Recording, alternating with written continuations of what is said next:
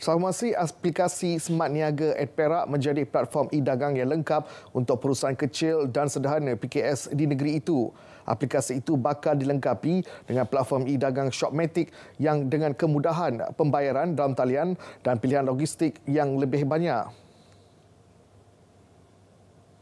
Penggunaan platform e-dagang Shopmatic bakal melonjakkan usahawan ke tahap yang lebih tinggi dan berpotensi untuk menembusi pasaran antarabangsa.